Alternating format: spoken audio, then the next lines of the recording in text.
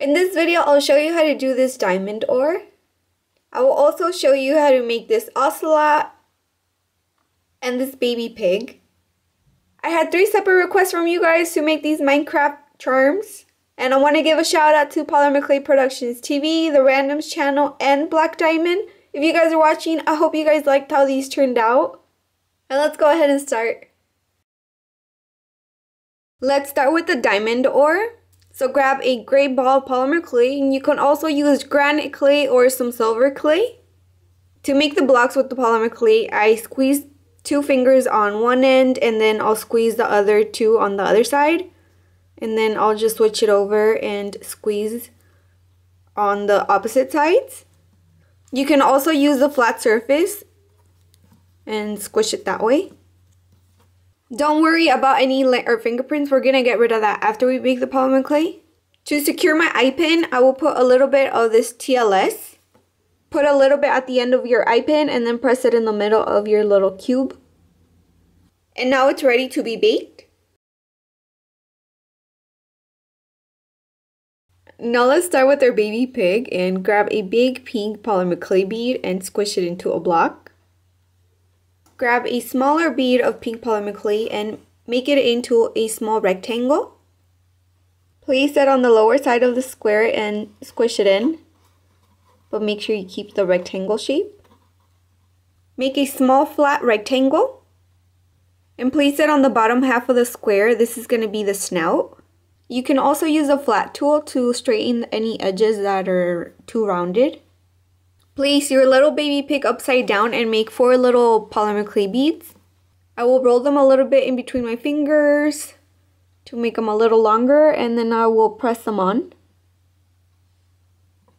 Put some TLS on an eye pin and place it either on top of his head or in the back of his body.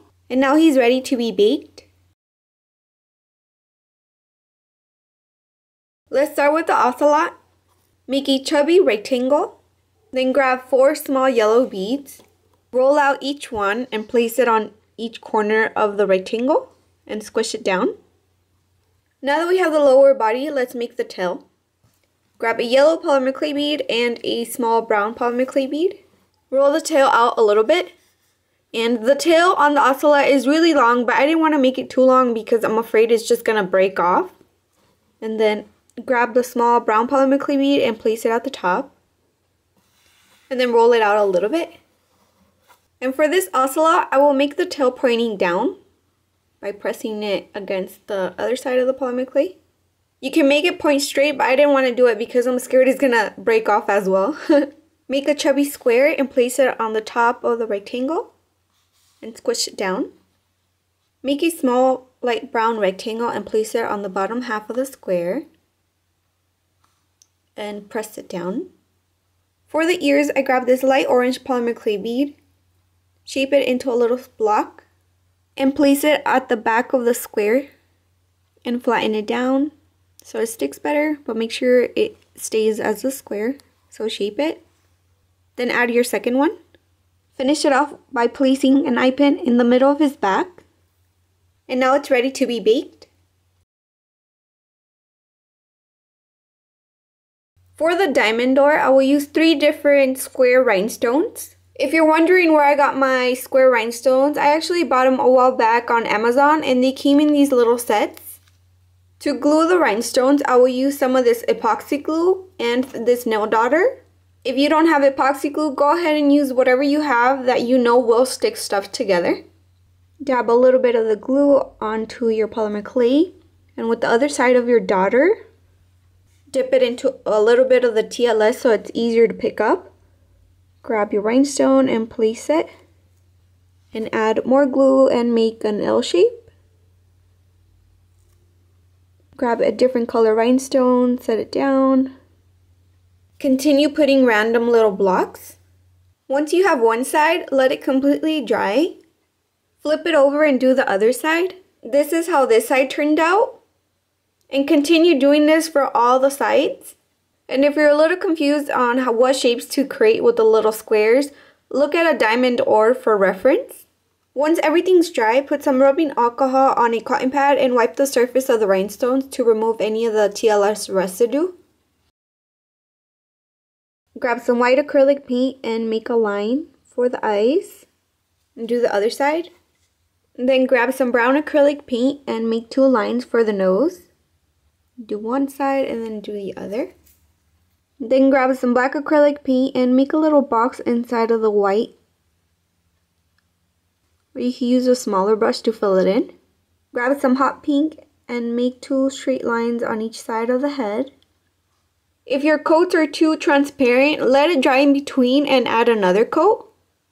For the feet, grab some brown paint and make two little lines on each foot. And only do it in the front because the other ones are most likely going to be covered. And now let the paint completely dry. Grab some white acrylic paint and make a rectangle. Grab some dark orange and make a little square for the nose. With some green paint, make a little squares inside of the white. With some light orange, paint the bottom of the feet. And then with some light brown and some dark brown, make some random squares all over the body. I ended up doing three different shades of brown and I ended up doing patches all over. Let the acrylic paint completely dry. Once the charms are all dry, grab some gloss glaze and a small brush and glaze them all over. And for this diamond ore, just try to not glaze the actual rhinestones. For the baby pig and the ocelot, you can do it all over. This is how the diamond ore turned out.